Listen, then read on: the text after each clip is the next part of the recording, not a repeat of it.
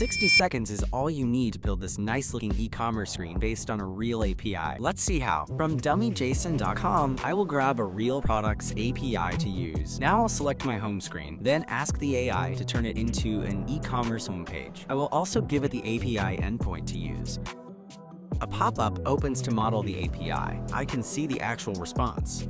Next, here I'll include all fields in the model. I can see the three models it will create to handle the response. Pretty cool.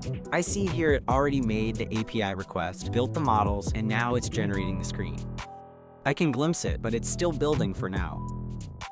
Yes, it's now done. Here's a full description of what it did. If I scroll, I can see all actions and thinking it did. Now it's the moment to play the app.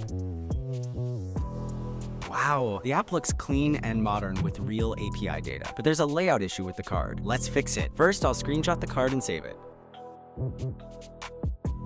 Now I will attach it to the prompt, so the AI sees the problem as I do.